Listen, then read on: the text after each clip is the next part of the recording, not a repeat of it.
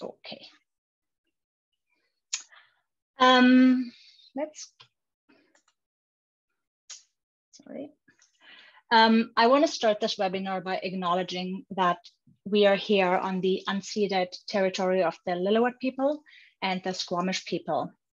And um, I feel so fortunate being able to work and live and play here and respect and commit and are committed to a deep consideration of the history, culture, stewardship, and voice. Um, today we have some exciting speakers. Um, I am the host. My name is Luisa Berhenne. I'm the manager um, of environmental stewardship at the Resort Municipality of Whistler. Um, we will have, um, oh, apologies. First of all, I go through the outline and then I will present the speakers. So the goal of this webinar is to provide the latest information about electric vehicles in BC, but also specifically in our to communities. Um, we want you to understand the importance of adding electric vehicle infrastructure to multi-residential buildings, also known as MURBs or strata buildings. Um, we have received many questions um, thanks to um, your registrations. Um, so we'll do our very best and also the speakers will be do their very best to answer your questions. We have received questions about the process. How would we go about adding EV charging to our strata or even starting an assessment? How do we start? And then what's the cost? What's does it depend on how much charging I use or are there different models that there's one charger for everyone or does everyone need their own charger? So we had a lot of questions around how.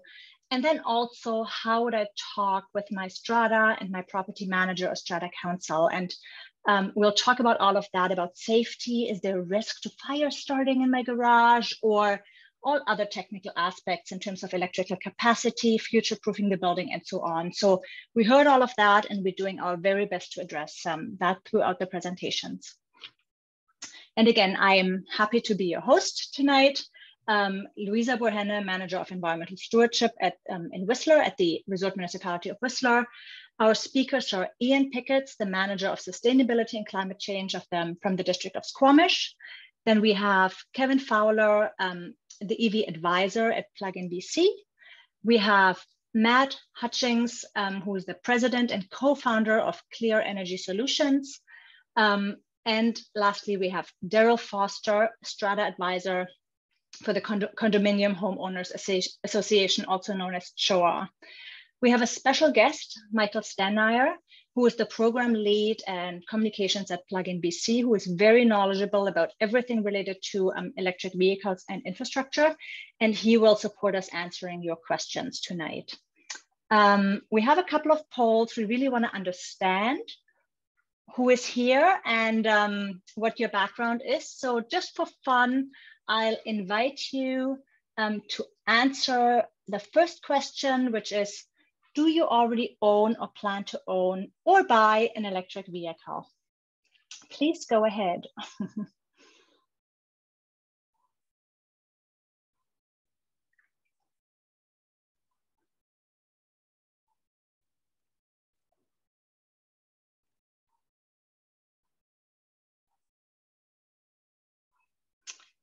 Okay, we have a lot of people answered already. 10 more seconds. Okay. And here we go. I think most people have answered.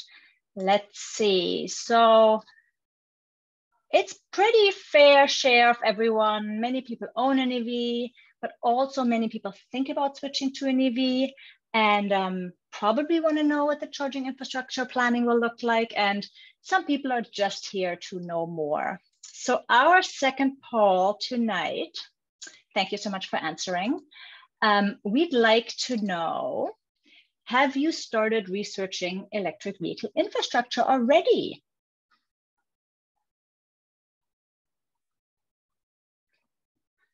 We have waiting music. Da, da, da,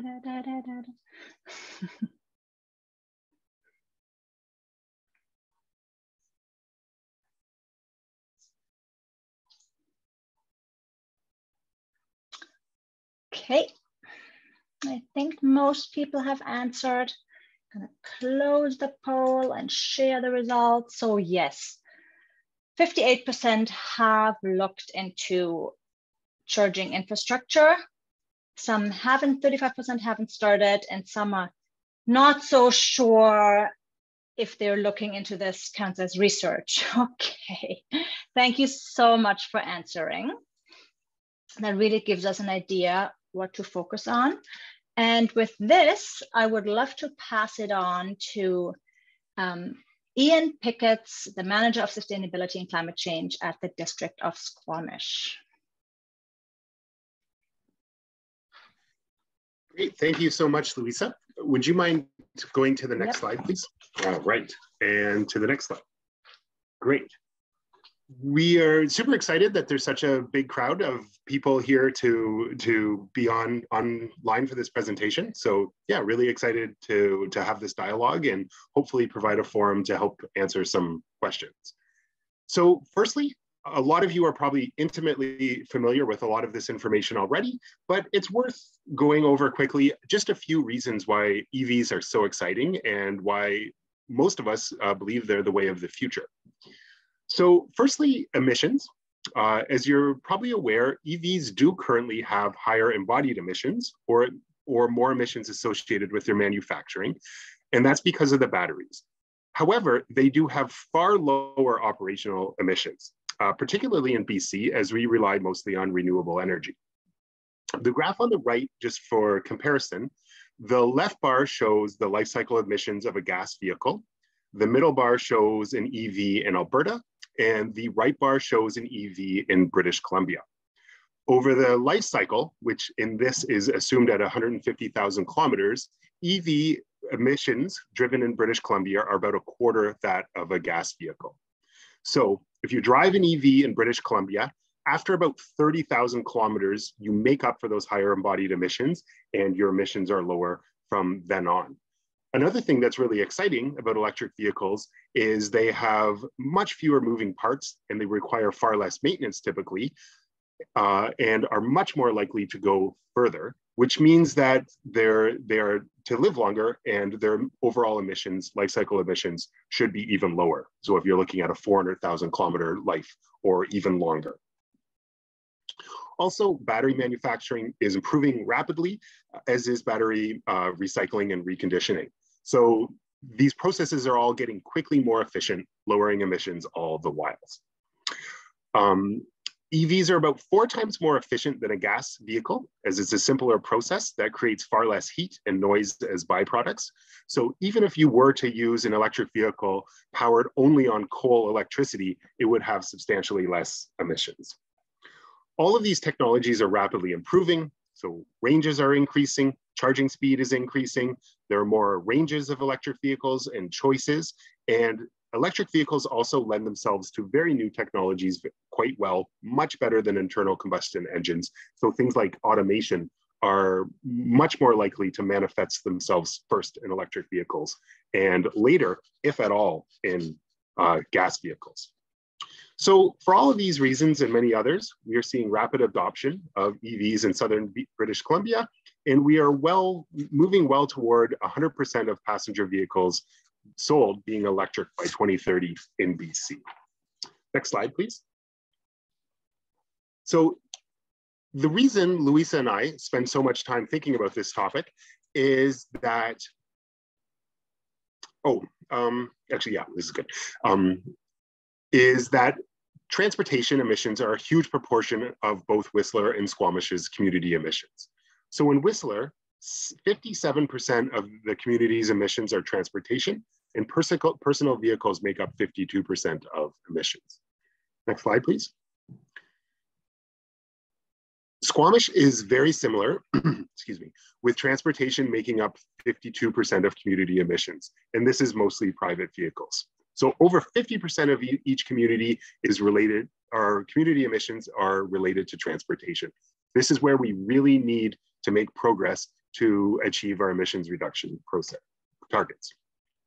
Next slide, please. So because of that, electrification is a big part of Whistler's climate action plan. Big Move 2 is decarbonized passenger and commercial transportation. Whistler's goal is for a 50% emissions reduction by 2030, and this is compared to a 2010 baseline. Next slide, please.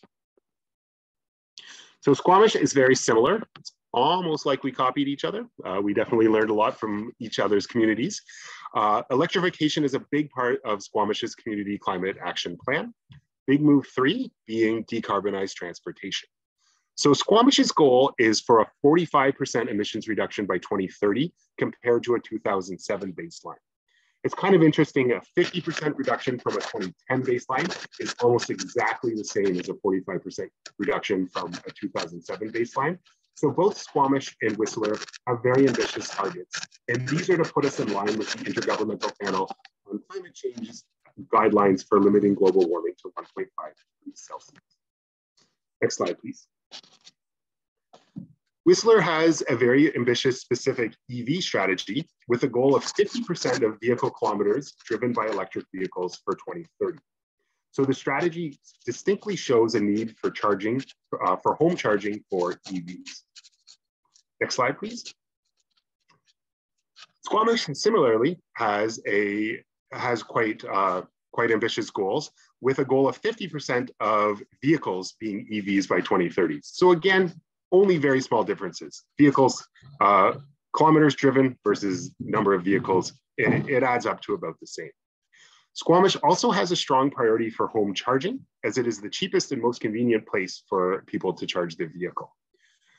As you note from the first principle outlined on this page, it's really important for us all to remember that EVs are an extremely important part of the climate solution but they are a complement to, not a, not a replacement of active transportation and transit. We still should be walking whenever we can and riding our bikes and taking buses uh, as much as possible, hopefully electric buses. Um, we really can't abandon these other priorities for a lot of social, cultural, and uh, economic reasons. Uh, unfortunately, there's a lot of people in our society who are nowhere near able to purchase an electric vehicle, and we certainly can't move forward in a way that leaves them behind.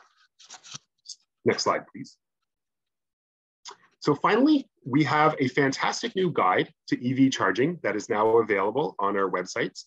So uh, after this, it should be a resource that will be very valuable to both communities and other communities. Uh, we encourage other governments to take this and learn from it as much as they can. Uh, just want to make a, a, quick, huge thank you to Amber from Substrate Studios for her work on creating this guide very quickly. And Amber uh, received significant help from Diane uh, from Seed Strategy. So please have a look at this guide after the webinar. And at this point, I will hand it over to Kevin Fowler from Plugin BC. Thanks, Kevin. Great, thank you, Ian. I'm just gonna share my screen.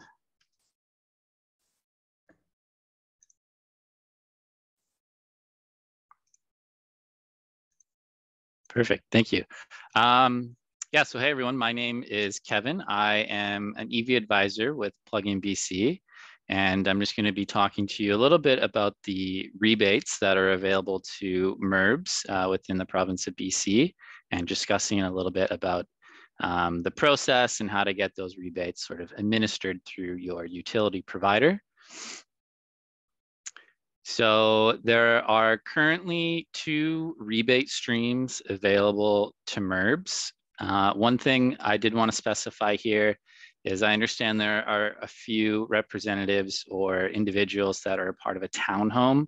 Uh, unfortunately, these rebate streams do not apply to townhomes uh, at this moment. Um, there is some conversation happening between the, the province and BC Hydro regarding including townhomes within these rebate streams. But for now, um, townhomes would be able to apply for the single family home rebate um, if they wanted to install a charger um, within their units. So I just wanted to specify that. Uh, but regarding MURBs, uh, the two rebate uh, streams available is our EV Ready Plan and EV Ready Infrastructure Rebate or the multi-unit residential building charger rebate. And we'll sort of dive into a little bit about what these two routes look like. So the EV Ready plan um, essentially outlines a strategy, uh, a design to have one charger available at each for each unit. So not every parking stall, but each unit. So if, if one unit had two parking stalls, it would just need to go in one. Having said that, you can do every single parking stall if that's what you desire. Um, EV ready plans, they future-proof the building. Some of the facts that were mentioned um, at the start of uh, the webinar here that um, more and more EVs are on the road, you know, seems like it increases every day. Um, so charging infrastructure is going to be in demand in the future. So whether there may not be a, too many EV drivers within your building at the moment, in the future, there will certainly be a lot more and taking this proactive step in sort of future proofing your building um, sort of gets you ahead of the game. Um, additionally, having these uh, chargers within your building also increases uh, the value of the property as well. So, and talk about the rebate here for the EV Ready plan. You are eligible for up to 75% of the cost to a maximum of $3,000 uh, for an EV Ready plan. The plan is basically just the design or, or a blueprint, we can call it. Um, and you can only apply um, for one EV Ready plan, or you can only receive one rebate for, for one EV Ready plan. Um, you do not need to get any sort of pre-approval or anything from your, your utility provider. You can just contact a certified electrician or engineering firm, and they'd be able to, to draw one up for you after they sort of visit your site and gather some data uh, regarding load capacity uh, and uh, having to look at your current electrical uh, infrastructure. Um, yeah, so it just talks about here sort of what's included, property details, your current sort of electrical capacity, um, sort of what your load has been over the past year, and then it's just kind of talking about some recommended solutions as far as how the design could look, and then of course the cost of actually going ahead with the scope of the work. So, um, so that takes us into the infrastructure rebate, where you would this is for the actual work, uh, like the construction work. You're eligible for up to 50% of the cost of the electrical work uh, and up to about $600 per parking space. Uh, this rebate is capped at about, or not, uh, it's capped at 120,000 per MURB complex. Um, so that roughly is about 200 stalls that you'd be able to install within your um, building that would keep you within uh, under that that $120,000 cap. Um, you do need pre-approval for the infrastructure um, in order to receive the rebate. So we'll just talk about here, you basically need to get the EV Ready plan first. Once that's done, you'll submit that to your utility provider. They will then approve it once that's approved, you can then get pre-approval for the infrastructure. So there's a little bit of work that you need to do with sort of um, communicating with your utility provider and sending in some documents. Um, but this is just so that the utility provider is making sure that you know you're sort of following the necessary steps and things have been considered to to make sure that um, you know the the future of you know additional electricity is, is managed properly. Um, so there's also rebates available for the chargers themselves. Everything I've talked about has excluded the charger itself at the moment. Um, so if your building participated in the EV Ready stream, you're eligible for up to 50% of uh, the cost of the purchase and the installation of the charger uh, to a maximum of $1,400 per charger. And that rebate is capped at $14,000. Um, if you did not participate in the EV Ready um, stream, so if you went the standalone charger route, that's this, the other stream that I mentioned a bit earlier, you'd be eligible for up to 50% of the cost for the installation and purchase of that charger to a maximum of $2,000 per charger, still capped at $14,000. So there's an extra $600 in there and that just adds a little bit of extra funds for sort of the, the infrastructure and construction pieces. Um, so anyways, when this is all combined, if you do choose the EV Ready route, which is the route that we certainly recommend, uh, the total rebates available to you, including the charges, would be a, close to $130,000 um, available to you. So certainly a good time uh, to go and consider getting chargers installed within your building. Um, these rebates are while funds last, so there could be a time in the future as more and more vehicles are on the road and as charging infrastructure becomes more in demand, it's possible that these rebates may not exist uh, in the future. So just wanted to mention that. Um, there are also top-ups that are offered through your municipality and some of those municipalities being Squamish and Whistler right now, they are top up to uh, instead of 50%, 75% of the purchase and installation costs. Um, so that's a nice extra incentive for anyone within those municipalities to sort of take advantage of these opportunities. Um, just to touch on the chargers, there is a um, eligibility criteria for the chargers. So they must be purchased and they must be new. Um, they also need to be a level two that plug into a two, 208 volt or 220 volts. Um, so there is a difference between level one and level two chargers for those that do have a, an EV at the moment. The level one charger is the cable that came with the car that plugs into your standard wall outlet.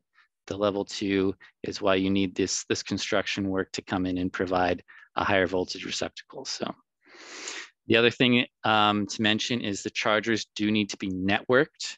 Um, and this is an important thing to consider when you have multiple uh, vehicles charging at once so that they can sort of essentially communicate with one another uh, to make sure that you know the, the system isn't being overloaded. So it's a bit of a, a process to get it, um, your rebates issued, but you first need to make sure you're eligible for it. There's some eligibility requirements. The building must be located in BC. Um, this these rebates are for retrofits only. So unfortunately, new builds uh, are ineligible. Uh, any and a new build is classified as any building that was completed after August 31st, 2021. Unfortunately, those buildings are ineligible for the rebates. Uh, make sure you get your required documents as far as the EV Ready Plan design, apply for pre-approval, and then you can submit your application for the rebates. So uh, one of the first steps to starting this process is having a technical assessment done on your property. So that would be contacting uh, certified electrician to come out basically, or an engineering firm and sort of inspect your building, the infrastructure, um, have a look at the current capacity, load management over the past year or longer. Um, and they will, they'll be able to help answer some technical questions with, as far as infrastructure and, and sort of electrical upgrading. So, so that's it for my presentation. Um, if you do have any questions on the rebates and just sort of a bit more information about the process of having uh, chargers installed within your building, feel free to contact us. We um, have a service where we just provide advice uh, through that email there. You'll be able to talk to myself or one of my colleagues, and we can certainly assist you if you have any questions and provide information on how to go about this process. Um, so thank you for your time, and I will pass it over to Matt.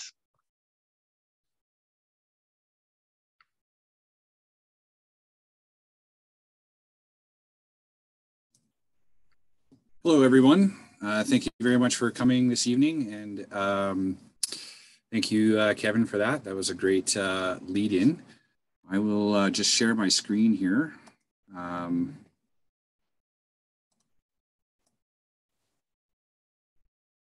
okay, so I'm just going to touch on a, a, few points. There will be a little bit of crossover here uh, in terms of what uh, Kevin just covered. I can say from um, uh, from a, an electrical uh, contracting uh, perspective and and design um, and implementation perspective, we were definitely seeing uh, many many more MURBs um, trying to understand what the process looks like, more um, uh, more owners asking you know questions on how uh, they can get EV charging um, into their uh, into their uh, properties. Uh, and definitely seeing um, you know people picking and choosing you know if there's if there's a, a MURB there that has ev infrastructure in place or a plan for it uh, they're likely to uh, you know want to buy or rent there whatever the case may be rather than um, uh, a location that doesn't have that so it's really starting to impact the value of, of homes and uh, communities um, and you know this is going to continue to um, rocket up as uh, we you know rapidly approach uh, two dollars and fifty cents a liter. So this uh, definitely uh, does um, appear to be the future. Um, can't really stress enough the importance um, for the strata to uh, help itself by educating itself and being proactive in terms of um, understanding itself, its own laws and bylaws, and how it can move forward um, in adopting these uh, strategies. Really critical, especially uh, in this day and age where you know we're seeing um, you know delays, uh, you know supply chain issues, um, even even getting into design. If you need to do some electrical uh, infrastructure upgrades, uh, the design process for that can take up to six months to a year and a half.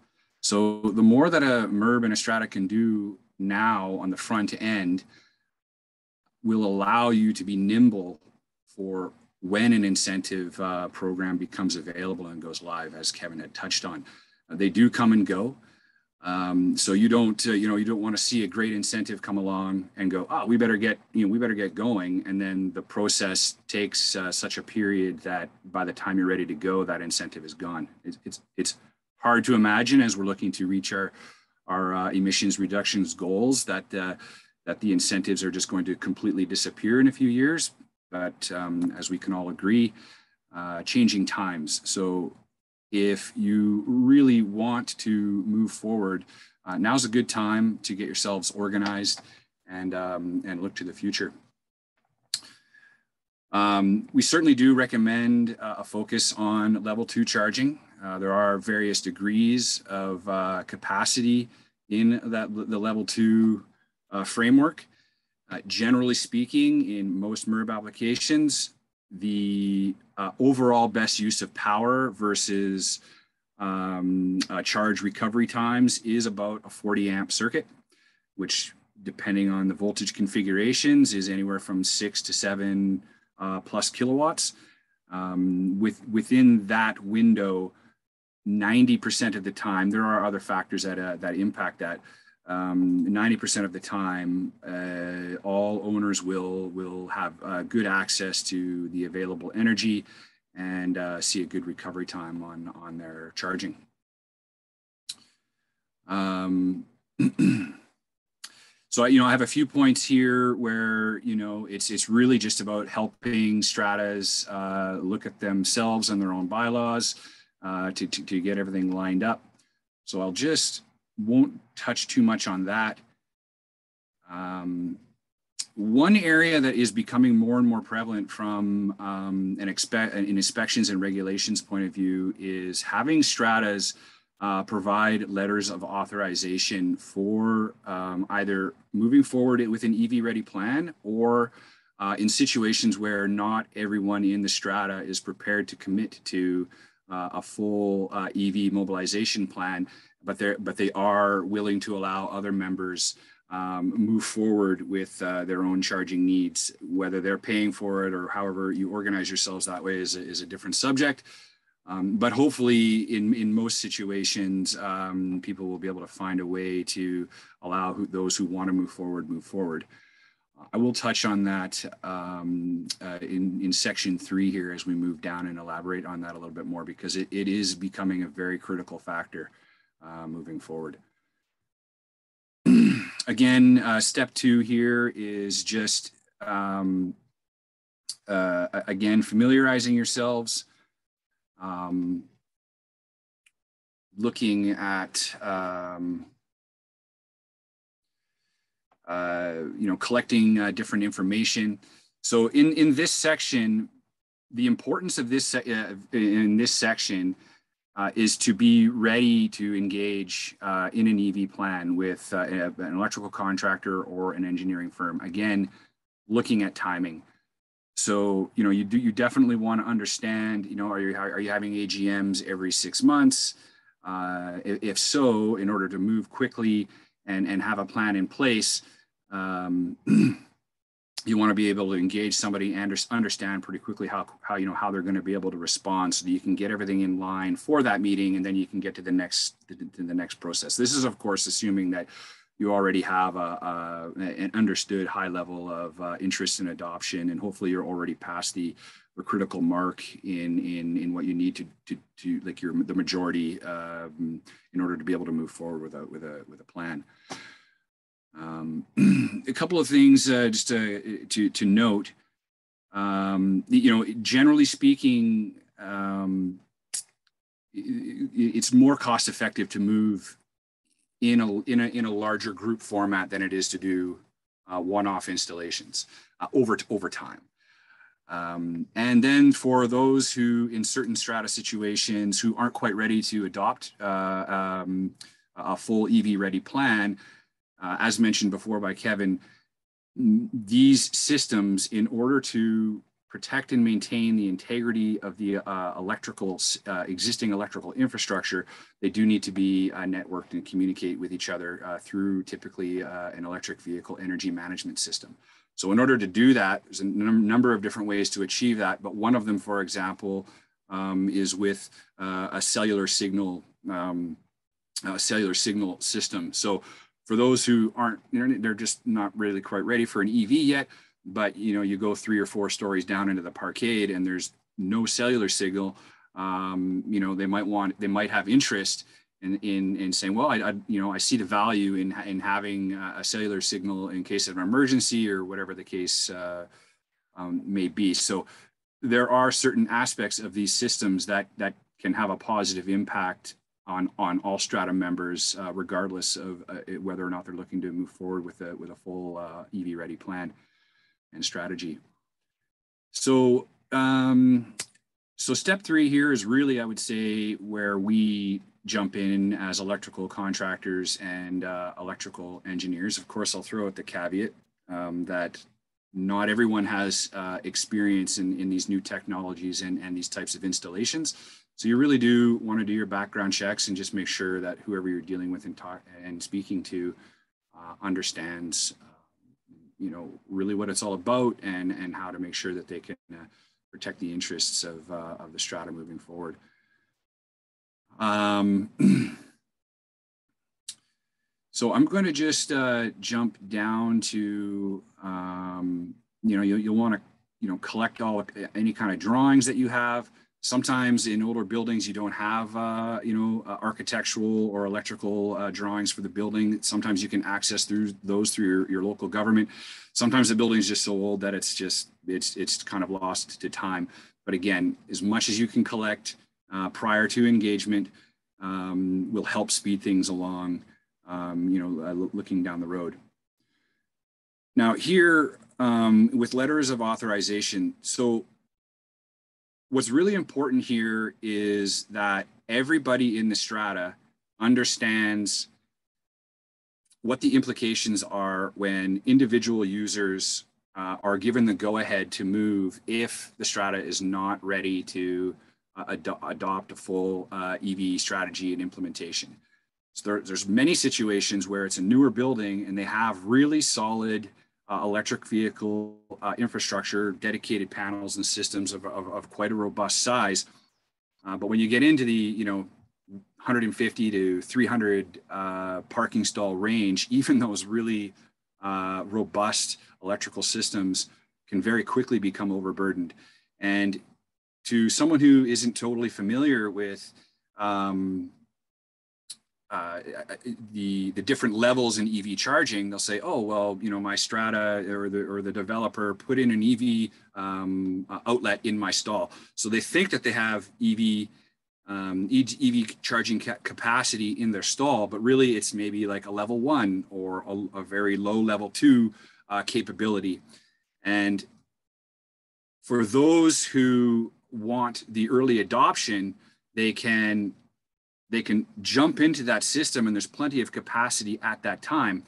But by the time 10 people, 20 people, 30 people do it, depending on the EV strategy and the rules uh, that the um, Strata lays out is in terms of what charger you can put in, what kind of capacity for the charger that you can put in, those early adopters can end up effectively uh, consuming the larger majority of that available capacity. And then when those who come in afterwards, that capacity may no longer exist, even though all along they've thought that I have a stall with with um, with EV charging in it. So really, really critical that Estrada lays out, uh, you know, a plan to say, for example, um, Joan buys a Tesla and the rest of the strata isn't quite ready to uh, move forward with a full plan. That means a communication system, an energy management system, and everybody buying uh, chargers potentially or the infrastructure as the case may be. And Joan wants to put in uh, a Tesla fast charger, and this can charge at 80 amps. So if we're focusing in on a level two at a four, on a 40 amp circuit to give everyone uh, a, a, good chance at accessing that energy when more people adopt, that one person now has a system that takes up double the capacity of anyone else. So from a strata's perspective, you might want to say, well, we don't want to stop you from doing it, but we're gonna we're gonna put a law, a, a bylaw in here saying that if you are not going to move along with, say, a, a, a single proprietary system, um, where we're going to be able to integrate that into an energy management system at a later date, then as more adopters come on, you may have to give up your charger. Um, and, and, and then and come into the fold with everyone else so that everybody gets a, a fair share of it when that time comes. And then, of course, there's you know having uh, personal property, i.e., that your charger located in in communal property. Who's responsible for maintenance? How are you covering off? Who pays for uh, the energy? Um, and and those kinds of things. So that that that is a really critical piece. And, and, and many districts and municipalities and cities right now are insisting upon letters of authorization from the strata saying that we are allowing these people to, to, to move forward with this plan or, or we're doing an EV ready plan so that that they can they can um, be assured that everyone in the strata understands what's happening to that electrical capacity uh, moving forward in that format.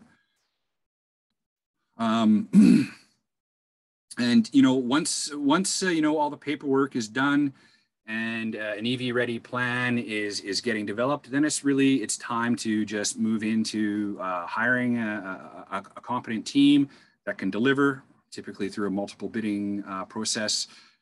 And um, and then you know once that happens, you just want to you, you know you want to develop so, uh, solid work plans, look at work periods, uh, so that while that work is happening, everybody can continue on in their daily lives. Uh, moving on to one of the last pieces I'll touch on uh, are some of the common challenges and considerations. So not all areas are uh, available for say communal charging. So maybe you have a, a, an electrical system that's kind of limited and you want to go with communal chargers. So you, you, you, put these somewhere where everyone can access them and then either through an app or a, a community group, you can monitor who can charge when and for how long. You can set your own billing rates uh, to recover costs. There's all kinds of different ways that you can configure it. Um, so you don't always have to go with an individual owner having uh, their own setup or a full adoption plan. You could go with a with a communal charging concept. and of course, this is all generally speaking. Uh, it's going to be networked. Uh, there'll be uh, whoever your, your provider is will will probably know if the station is broken before a user does and get an alert, get it repaired quickly so there's, uh, you know, minimizing uh, downtime. Um, Just a heads up, Matt, that we're about at time and we want to make sure we have time for questions. Absolutely. Too. If you can wrap well, it up. yeah, I, uh, I will, I'll, I'll move on from here. Uh, just keep in mind uh, emerging technologies. They don't always have all the certifications and they're not always necessarily proven. So be aware of that. And uh, thank you very much.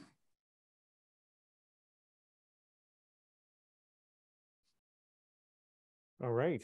I guess that's on to me now.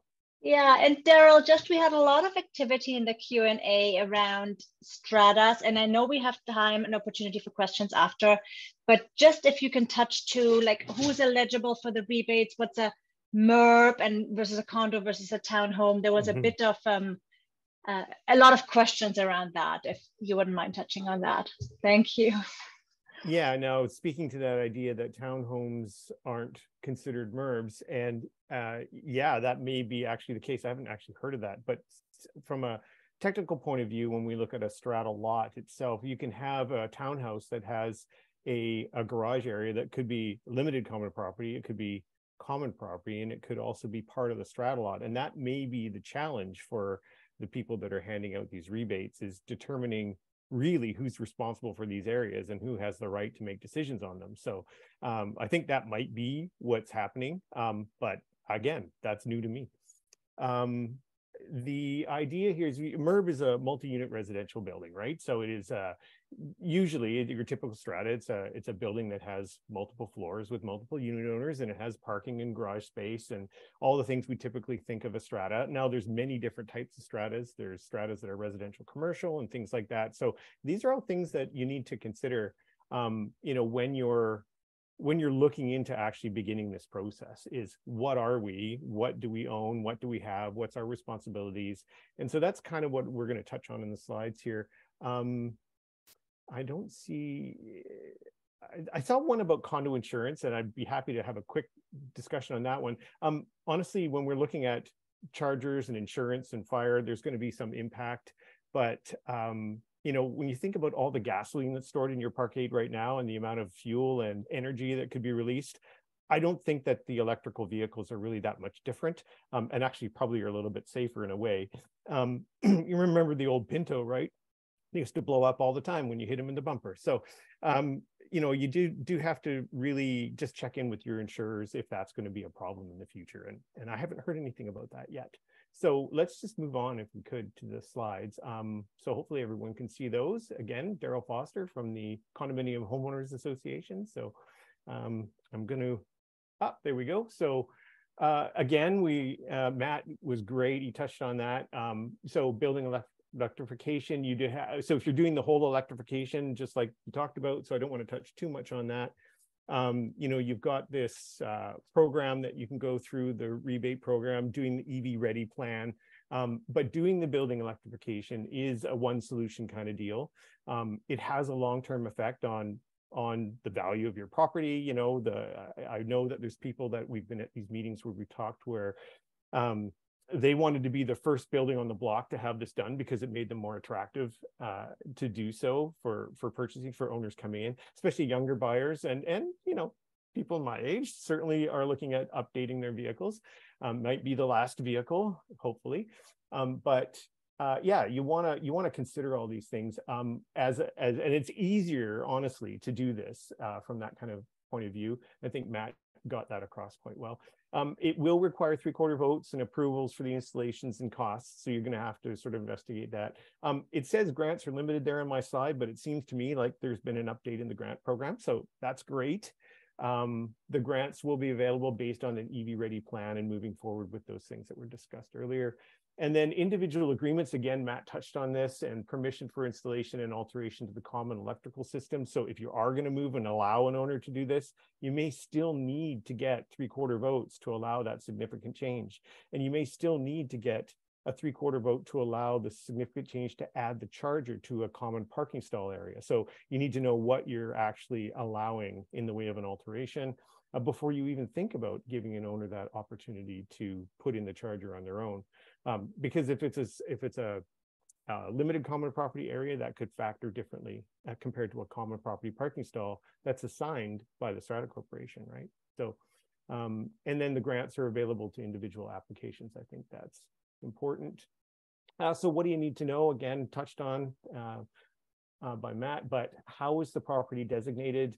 The language of your current bylaws, who's conducting the alterations. So whether you're going to do the EV ready plan and go forward, or if you're going to allow these alterations to be done by owners, whether the alteration requires building permits, if it constitutes a significant change in the use of property, like I talked about, um, you know, remember that if you're allowing owners to alter property, whether it's a strata lot, you know, under the standard bylaws, so check your bylaws, standard bylaws say that an owner who's altering their own property um, still has to get approval from council, but the count, council can't unreasonably withhold that um, approval. But if they're if you're going to be altering common property or limited common property, owner still get needs to get permission and at the very least take responsibility in writing for that alteration. And strata corporations would be well advised to put some bylaws in place or rules at the very least if it's common property to actually um, set aside those conditions that Matt talked about, right? Like, and we talked about this idea that, um, you know, there may be some limitations that you want to put in place so that if the strata adopts this EV ready plan,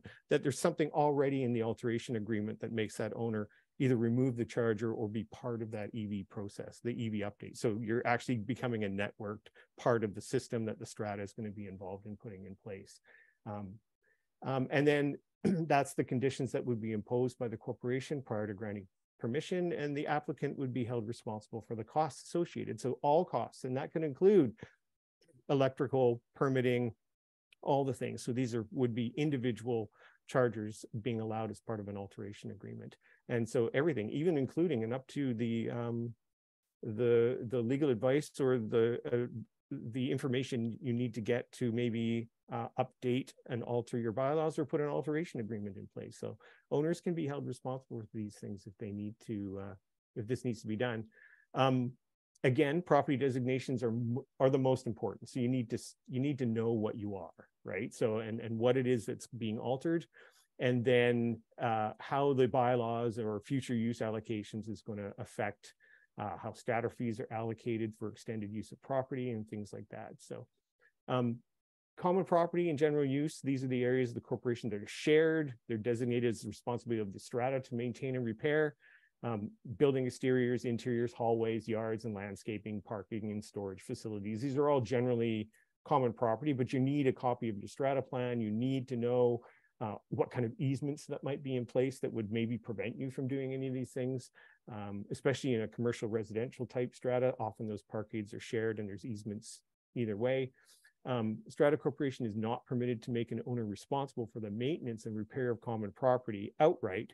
You can certainly enter into an alteration agreement with an owner who will take responsibility of the costs associated with maintaining and managing. So it stays as limited common property or common property, but the owner who's altered it is responsible for the cost. And the strata can actually do the work and in that case, charge back the owner. So if there's maintenance or other liabilities, that can happen. And that would be part of the agreement um, so it gets complicated quick, right? I mean, so uh, what I would suggest is um, when you're dealing with these things, part of the process when you're dealing your EV ready plan and getting involved in trying to get owners convinced is put some money in your budget for some legal consult on this, right? They're going to be able to, the lawyers are going to be able to review your, your bylaws, review your strata plan, tell you what you are, what's designated, and help walk you through this. Um, you know, again, as much as lawyers cost money. Sometimes it's really important for you to do this prior to engaging. Now, you can do it at the same time. There's nothing, you know, in, in the interest of speed, you can you can move on with this. And but I would definitely recommend you need to know this information. So what are you doing? So limited common property is allocated for the exclusive use, for example, of an owner. That's typically like your balcony, and it can be parking stalls shown on the plan. Um, and uh, the bylaws of the corporation can be amended to define those obligations of owners with respect to maintenance and repair of limited common property. So if your parking stalls and areas are, are limited common property, you can certainly amend your bylaws then, and you can then make an owner responsible for certain things related to that. Um, again, townhouse and garage. And so we've got the word townhouse in here. So that's another bit of a question mark. But um, if my townhouse garage is limited common property, do I need permission to install this, to install a charging station? And absolutely you do, uh, because the standard bylaws still require an owner who has use of that area to get permission to alter it. Um, and so that's a way of the Strata Corporation tracking these alteration agreements and making sure that these things are done properly. And those agreements can include the removal of that charger, uh, say when the owner leaves. But certainly that you want to keep this is a, a, selling item. And if you're going to put the infrastructure in place in a townhome, again, uh, seek some legal advice on that. Um, and then the strata can also engage in other uh, thing. So what are the boundaries of strata lot? I don't want to spend too much time on that. Basically, it's just uh, the area not defined as part of a strata lot is common property. So when you look at a strata plan and you see all the boxes and you see the strata lot one, two, three, four, five, those are the units. And then everything else, even if it's not shown on the plan, is common property. So it'll either be designated, you will see a designation of limited common property or common property. Um, and so this is where we talk about parking stalls often. Um, so again, we're talking about alteration. So this is the individual. Um, strata can't unreasonably withhold approval for altering a strata lot, but certainly can put conditions in place. So you need to know who would be asking for the alteration, what kind of agreements in place. And then you also have commercial leaseholders uh, with a resident with an interest in property may have the authority to apply for alterations, um, but you need to be clear who represents the strata lot. Um, so again, here, documentation is the most important thing to start off with. Um, strata plan, bylaws, technical details of the installation, and this is where that EV ready plan sort of dovetails in there, I think. And uh, what your electrical capacity is, who's performing the installation. And so it looks like, you know, we've got this great package of EV ready planning, which can help you with this. So these questions get answered as part of that. And but you're going to be engaging the individuals that are going to do this. Um, if you're if it's an owner that's making the application, then they're going to have to provide all this information as part of it. So they may have to actually bring in someone and get that letter from the strata before they can do it. Um, and then the critical questions, who's conducting the work? How will it affect the appearance of the building? Will it affect any other owner? Who's responsible for the cost of maintenance? What happens if the owner sells? So in the case of a strata, a normal strata with a parkade, if an owner's been allowed to put it in, do they have to take it out? And that might be the best solution if you're in the short term, allowing owners to make these um, additions before you get into the EV ready plan. Um, you may have to make a condition of that is like, again, you have to remove it when we tell you to, or when you move but the infrastructure stays in place if we're putting it in as a strata. Um, and then is the permit required? And, and, I think in almost all cases, you'd say yes to that. Um, and then a condition of granting permission. So we've talked about that. Um, the includes maintenance and repair. So the Strata Corporation can also uh, create rules around this. And the act was, or the regulations were amended um, not too long ago. And regulation 6.9 now allows the strata corporation to charge fees for things. So if it's the strata putting it in, and those fees can be fixed or determined on a reasonable basis. And they can be based on the rate of consumption, the recovery of operating and maintenance costs, the number of users, and the duration of use. So all of those factors can come into place if the strata corporation is managing this, and they can set a fee that's based on any of those parameters, as long as you've done something reasonable. And so if the strat is managing this, that's how you can do it. And I understand a lot of these uh, network systems are actually really good at providing information on usage. So that could be helpful. Um, and then uh, what could an owner, so I talked about this a little bit, an owner who's making this application and wants to put their own charger in would have to maybe look at all these different items. So damages caused, environmental costs, waste management removal. These are things that you would consider with almost any alteration. But remember, alterations are required to be approved by the corporation or the council. Um, you need to make sure that you're, if you're a section strata, that you're following the proper uh, process, uh, de defining residential and commercial involvement. And then um, airspace parcels are a whole different animal, and I don't even want to go into that, um, where you have air, airspace parcels that aren't even part of the strata corporation, but they exist within the boundaries of the strata corporation. Um, and those are bound by contract. So you're gonna you're gonna review that with the lawyer before you even think about planning installing anything like this if you're an airspace parcel. Luckily, uh, most residential commercial are not that, but we're seeing more of them. So, and then I think finally, if you've got an agreement for the corporation, they pay for any costs related to the EVSE that was permitted. Does this obligation transfer to the new owner? So if you're allowing this to happen and you're allowing them to keep them, um, does your alteration agreement require the new owner to sign off that they're going to take responsibility for it? So again, these are typical things that we see. And that is it. Thank you so much, Daryl. And thank you so much, Matt and Kevin and Squamish. Very interesting presentations. We had a lot of activity in the Q&A. We can't keep up with your questions. We will get to it right now. I just wanted to recap, we have heard about, you know, the advantages of electric vehicles and why we're doing this from um, Ian and Squamish. He's talked about Squamish and Whistler. We have heard um, from Kevin about the rebates. There was a lot of questions maybe that we can get into about who is eligible for the rebates, why and why not. Um, but definitely a big takeaway is that there is a lot of money available right now. Um, and there is a lot of guidance how to get there. And we have summarized much of that too in um, our guide that you find on electricseatosky.ca. A link is right there. Then Matt, thank you so much for giving a lot of um, um, technical advice as a, you know the, the lens of an electrical expert on, on what the pitfalls are and you know um, what to look out for when going around this. And, and Daryl, thank you so much for giving the strata landscape and making sure that everyone's covered and not just goes out and um, the more strategic I believe we are, that's what we heard, the more we are prepared um, for fulfilling everyone's needs when it comes to electric vehicle charging. Thank you, Michael, for answering questions in the chat.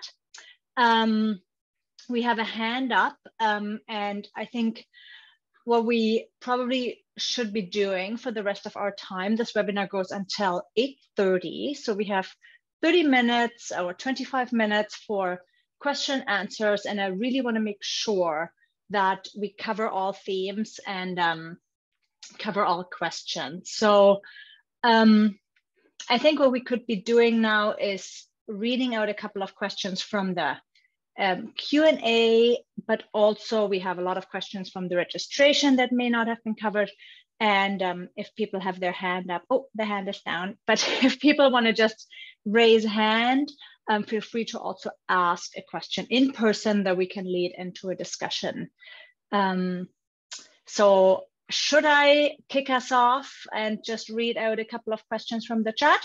Is that a good, I start at the beginning um, and I'll bounce it off to the experts.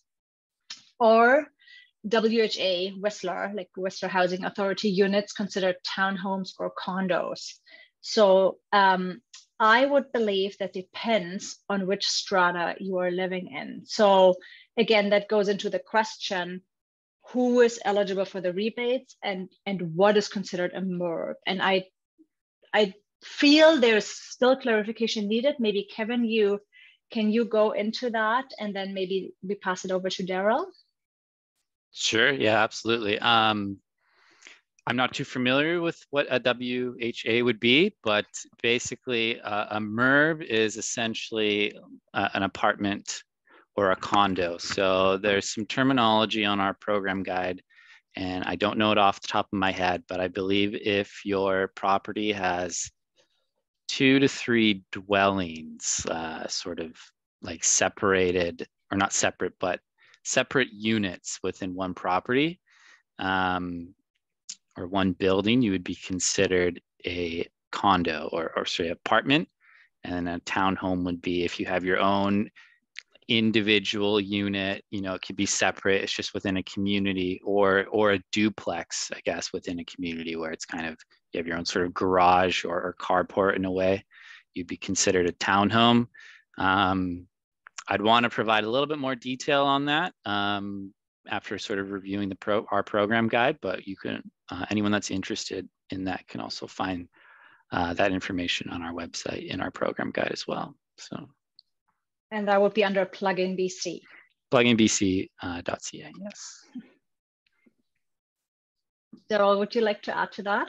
Yeah, sure. I mean, the, the reality here is that you. your um, a strata corporation is created when the developer files its documents at land titles, right? So that's whether it's a duplex strata corporation or a townhouse style strata corporation or um, you know, a regular what we would expect of building a high-rise building or even a low-rise, right? Those are all things that can be strata corporations, but they, you know, uh, they don't necessarily have to be. So really, the it's about what the program parameters allow, right? Um, if we're just looking at strata corporations in BC, then you just go to the index at land titles and find out that this is a strata corporation. Now, whether that qualifies you for a program doesn't necessarily mean that's true, right? Because they've set different parameters for that. So strata corporations generally are, you can tell you're a strata by just knowing that you've got a strata plan filed at land titles. And we see a lot of people that don't understand that. So you could be living in a, in a duplex um, and certainly, uh, if there's a strata plan filed at land titles, you are a strata corporation, and all the rules and regulations and laws apply. So, thank you so much for that clarification. Thank you. I'll um, move on to the next question. It would be good to know what the median costs are um, that these rebates, rebates apply to. So I, I would assume, you know, if the EV Ready plan has a SHIFT rebate, how much does it actually cost? You know, it's a $3,000. Um, how much how much does it usually cost to do an EV Ready plan? Um, yeah, I'll take that one. Um, I guess the answer would be is it, it does depend on the size of your building. Um, you know, large high rises that have you know, over say 200 parking stalls, they could be looking in this maybe $5,000 range, maybe a bit more. Um, if they're sort of, uh, you know, lower, smaller buildings, then they'd be sort of maybe within the $3,000 range, uh, roughly. Um, it also does depend on who you contact as well, as they'll sort of have their own market pricing for, for their work. Um, but again, you are eligible for 75% up to $3,000 just for the EV Ready plan itself. That doesn't actually include any work yet. And in Whistler and soon in Squamish, you also get a $1,000 top up on these rebates. So we really want stratas to start with an EV Ready plan. Thank you. Um, is there anyone in Squamish that would be coming on site to do a general assessment to evaluate to evaluate feasibility of the project after Strata has agreed in principle to it? And I believe the answer is that's the EV Ready plan. Um, Correct. Yeah, you can. Um, uh, I think that e, uh, our EV advisor email has been passed around in the Q and A. Feel free to reach out to us. We can provide sort of a general uh, BC Hydro approved sort of list of contacts, or you have to actually, sorry, uh, request a couple from BC Hydro. Um, and they'll be able to come out and look at your property. Um, we have a list as well, or you can do your own due diligence and do your own uh, research on finding an engineering firm or certified electrician.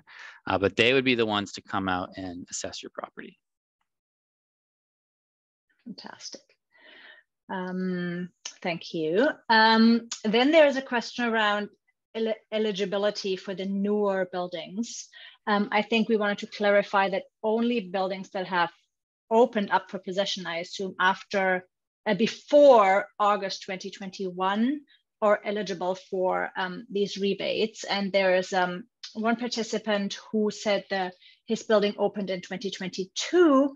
Why is he not eligible for rebates? And um, I don't know the reason, but I want to clarify that's the case. sure. Yeah. Um, it if the building um, has a completion date prior to August 31st, 2021, they are eligible for the program. If the completion date is after that date, they're unfortunately ineligible. Um, this is sort of a deadline that was set by the province of BC um, one of the main reasons for that deadline is because a lot of bylaws were coming into place that were for municipalities that were requiring any new construction, whether it be commercial or residential, to have some sort of electric vehicle charging infrastructure capacity. So that's why, unfortunately, the uh, some new buildings um, or, or, or, some municipalities that have new buildings come up may not, unfortunately, fit within that category. Um, it's unfortunate, um, but I would make sure you you check your municipality. Just make sure are there are there any bylaws kind of going on to see if there is infrastructure that should have been installed, or talk to the contractors, do your own do a little bit of research just to find out Um, but yeah, unfortunately, that is the cutoff date set by the province. Ian, did you want to add to that? Sure. Uh, so in Squamish, we updated our, our zoning bylaw in late 2021 to require all new residences to have at least one energized outlet per unit. I, I apologize to the to the asker of the question. That's just a August.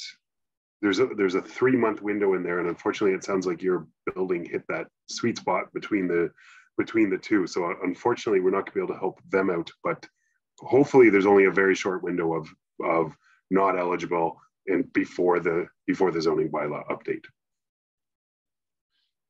Thank you so much. um,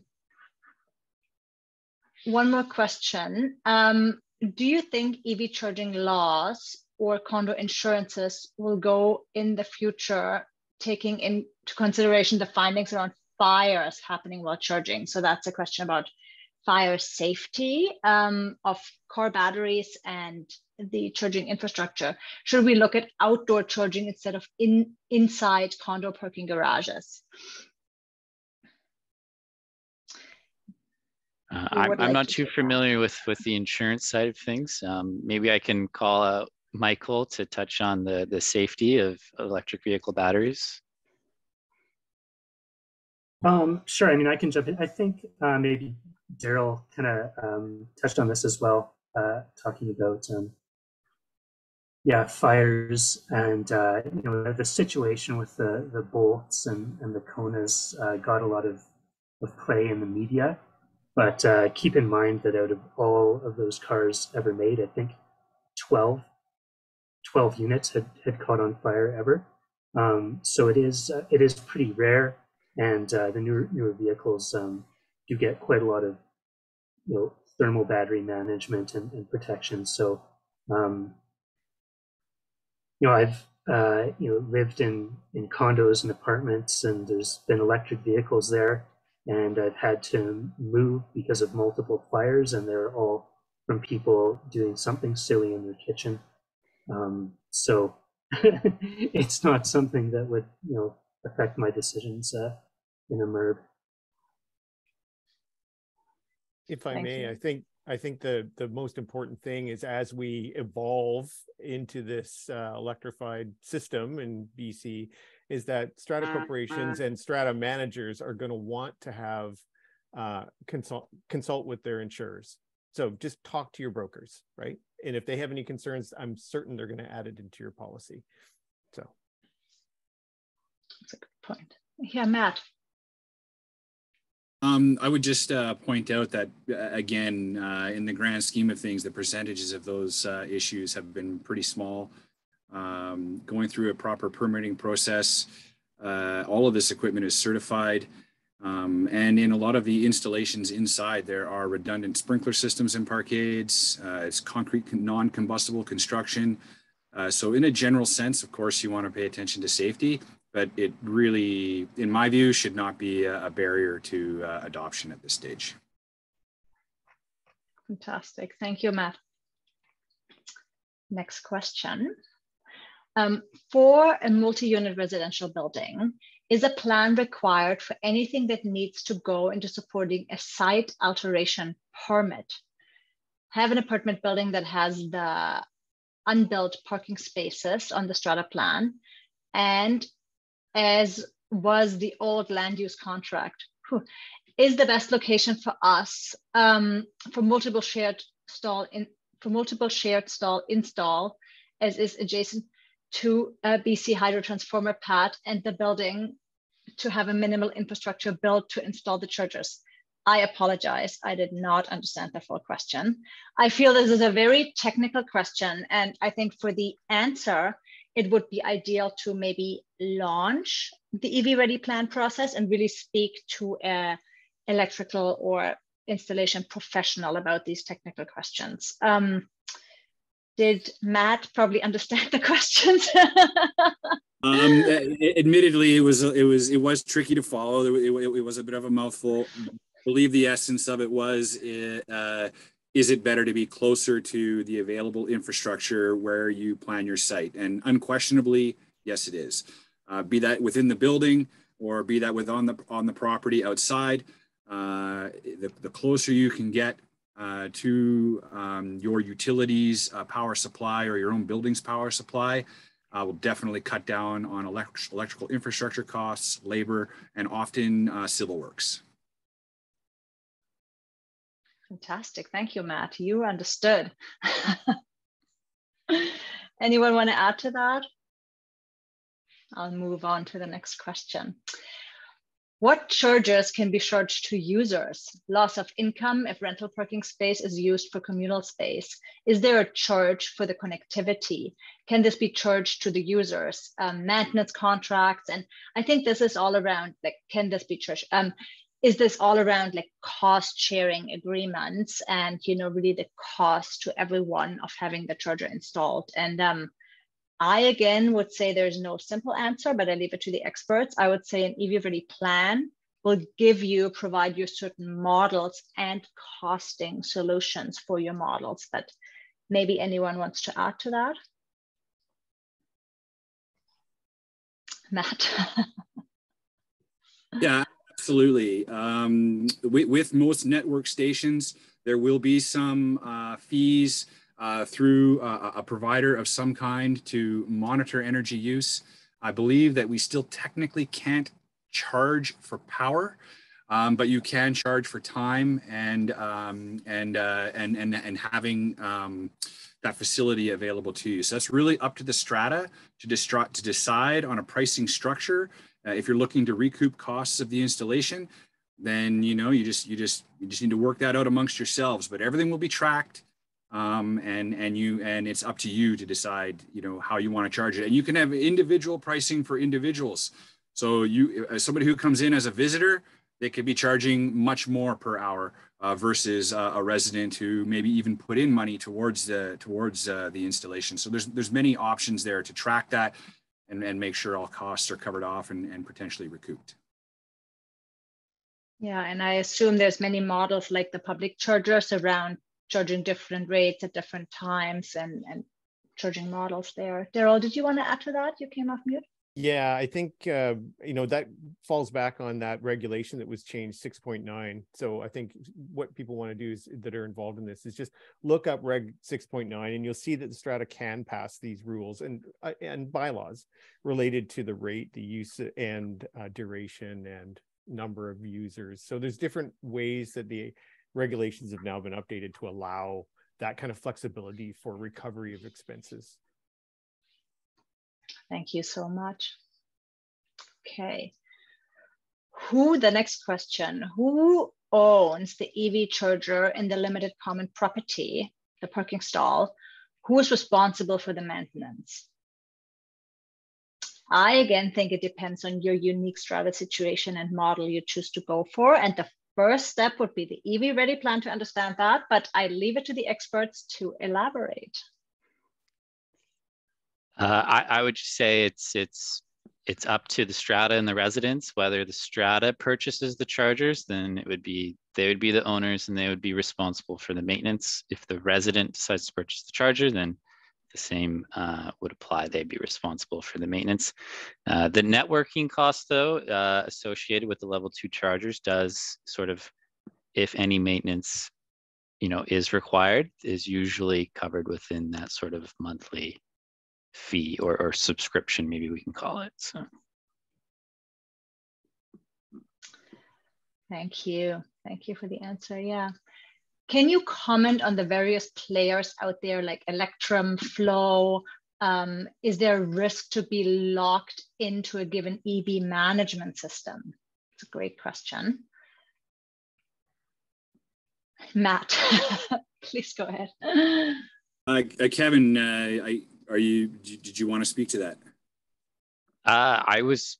I'm here interested to hear what you have to say. I was going to say I don't think there's a risk or anything uh, to being locked in not at all. But I also don't work uh, too much within the field of the chargers, so be interested to hear what you have to say.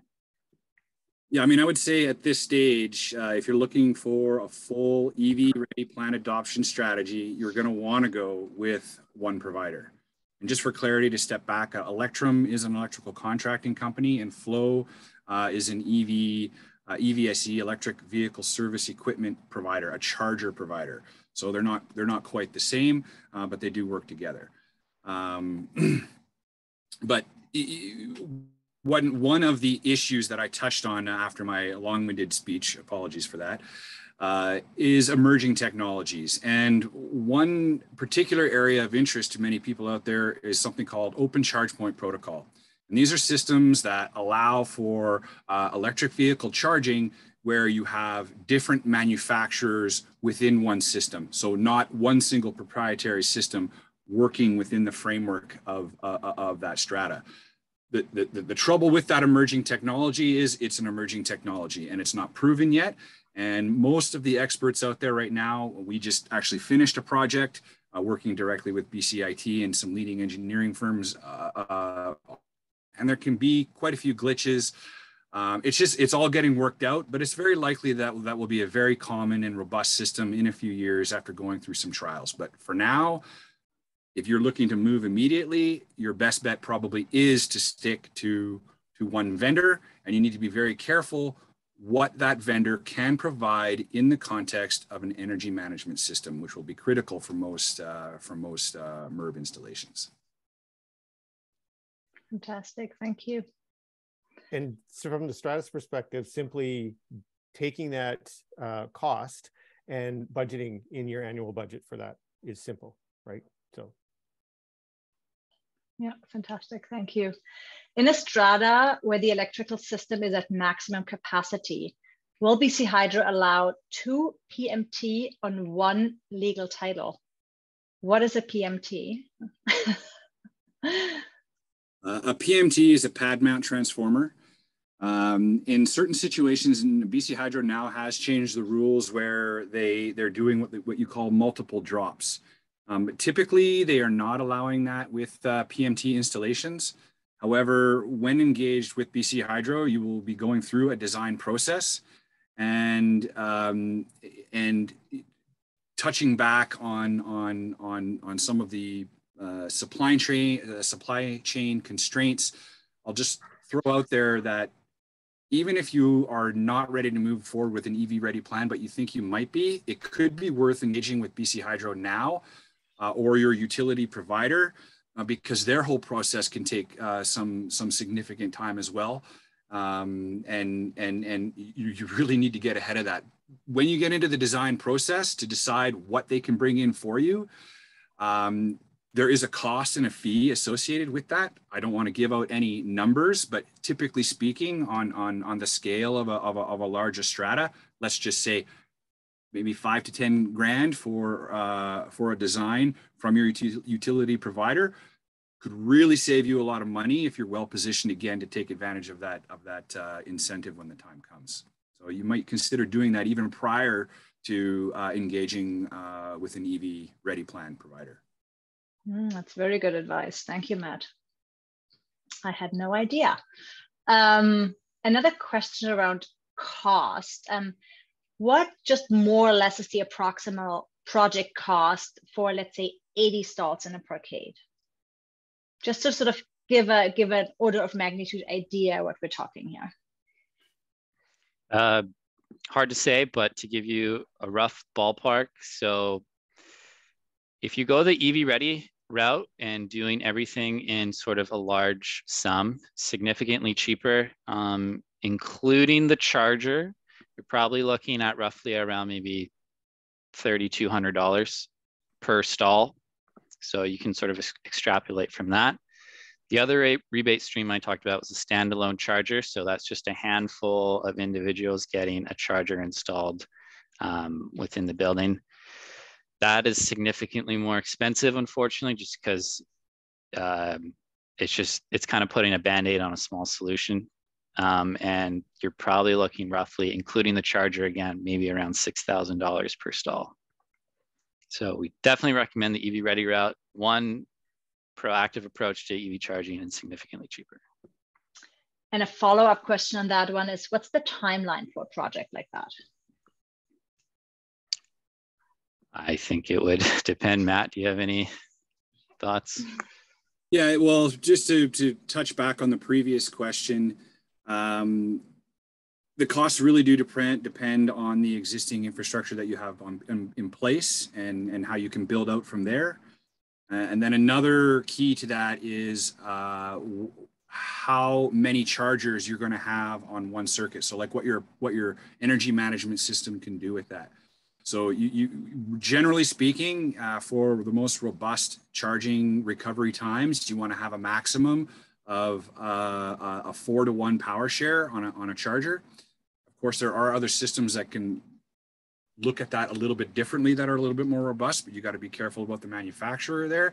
But I would say overall, uh, the numbers that you, you, that you provided there, 6,000 per stall uh, being a robust budget number and two to two, two to 3,000 given the right circumstances is also a good number to work with uh, for the initial um, planning phases. Again, now in terms of how long it takes, that depends on what kind of infrastructure you have in place uh, and whether what other entities that you need to bring into the conversation. So, are you doing a, an electrical service upgrade? That could add six months to a, to a year and a half, depending on your situation. If you don't have that, then it's really uh, often boils down to um, how quickly the strata can move. Um, and then, you know, generally speaking, the incentive program uh, process is, uh, I would say, a lot less challenging than it kind of feels on the front end. Um, so, you know, it could be anywhere from, I would say, a, a six months to two years.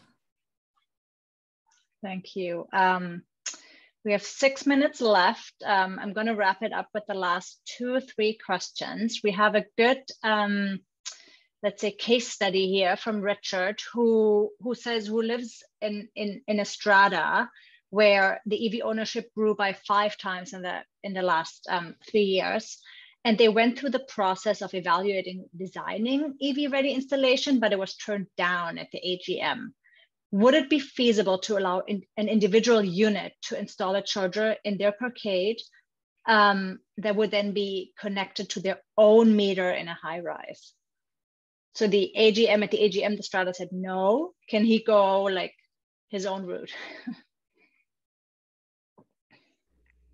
Matt. Matt, yeah. Oh, I'm, I'm sorry. Oh, go ahead. Yeah. No. Kevin, please. No, I was gonna. I mean, uh, I was gonna say if you do get approval from your strata to go ahead and do that, you could do the standalone charger route. But if you don't get approval, then then unfortunately not. So. Yeah, I mean, absolutely. It, it really all depends on how you organize yourselves and, and honestly what your community is like. Uh, that being said, on an implementation side, uh, jumping into the meter stack and and and getting it out to your stall, I've seen it. I've seen it before. There are technically some challenges uh, involved with that, and you would absolutely need to make sure that your electrical contractor is uh, discussing that uh, with the inspection authority. Um, it can be done, uh, but that is a tricky process.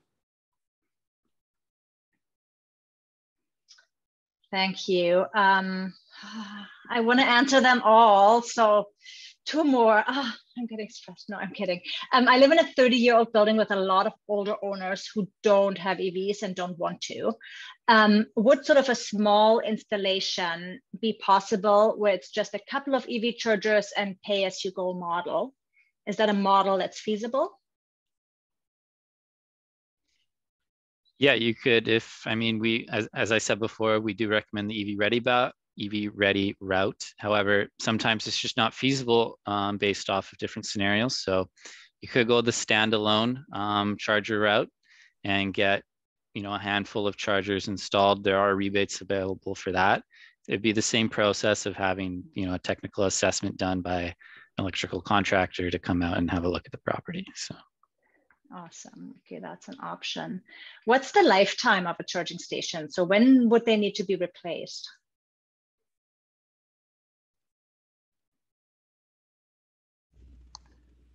Um, that's a matter of use. Um, I'm sure uh, you know Daryl could could speak to uh, how common property can be treated a little roughly. Um, that's really just up to up to the users. Uh, there are some uh, manufacturers out there that have a focus on uh, a robust design more than others. Um, sometimes uh, a focus on a robust design means that uh, there's another area where maybe they're not as strong as, a, as, a, as another unit.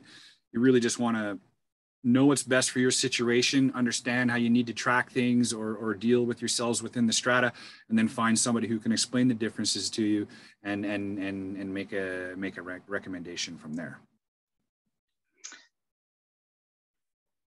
Awesome. So with two minutes to go, um, I will wrap it up here. There's still a couple of questions out there, um, but I would say we have our guide. Most of the information can be found in our guide that is available on electricseatosky.ca for download.